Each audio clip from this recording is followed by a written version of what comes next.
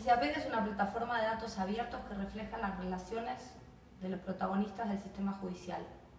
Refleja las relaciones debidas y no tan debidas entre los jueces, los fiscales, los abogados, los miembros del Poder Judicial.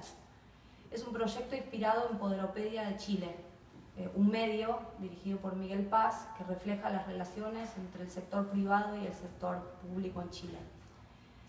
¿Por qué este es un proyecto de chequeado? ¿Qué tiene en común? Bueno, chequeado busca mejorar la calidad del debate público aportando datos, aportando datos abiertos, datos que la gente pueda contrastar. Con Justiciapedia hacemos lo mismo, aportamos y abrimos datos que la gente no conoce y que vale la pena que conozca. Y lo que queremos en el futuro es que la gente que tiene datos sobre relaciones de miembros del Poder Judicial o operadores del sistema judicial los aporte y luego en un proceso de verificación los subamos y compartamos. ¿Por qué es importante hablar de la justicia, de los operadores del sistema judicial?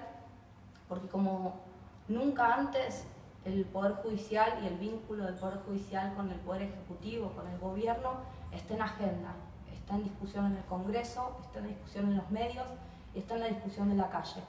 Entonces nos parece interesante, no solo como hacemos en chequeado, hablar de las personas, sino hablar de, con datos de las relaciones de esas personas y de cómo esas relaciones pueden influir en la legitimidad de sus cargos.